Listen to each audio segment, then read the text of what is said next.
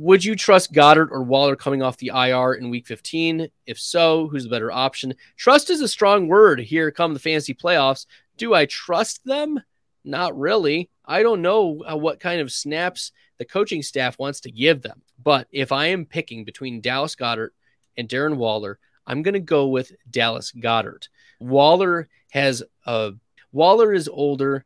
He's coming off the the hamstring injuries, which are injuries that tend to recur, especially if you you're an older player. Dallas Goedert is younger, and it was clear that he was made his progressions through. So Dallas Goedert had already been doing well before the injury, but Waller had been more inconsistent.